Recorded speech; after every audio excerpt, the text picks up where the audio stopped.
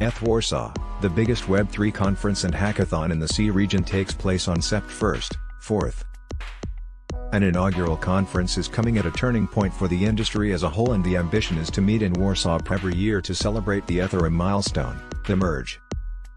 Warsaw, August 22, 2022, as we are entering the final weeks leading up to the merge, thousands of experienced builders and curious beginners will gather in Warsaw for ETH Warsaw Conference and Hackathon in Warsaw, Poland on September 1-4th.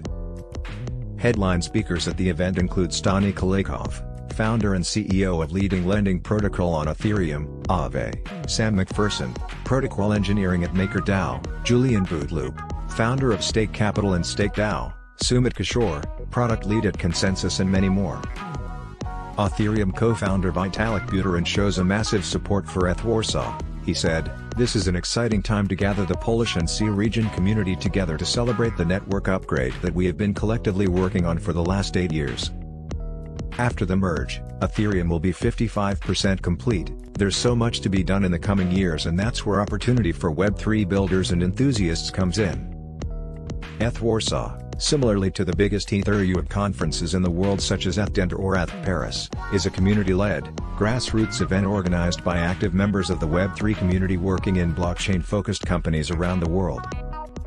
Aside from the merge being the hot topic of the conversation, the event will be organized around six key tracks, scalability, DAO and governance, DeFi, security, Web3 trends, our core team has been frequenting multiple conferences all around the world and we recognize the incredible value that comes from such events. That's why we want to bring the same to Warsaw. With some of the world's best technology universities, student population upwards of 220,000 and rising interest in blockchain, Warsaw has the potential to become one of Europe's leading hub for Ethereum developers and blockchain innovation. Said Paulina Joskow, ETH Warsaw Core and Head of Commercial at RAMP.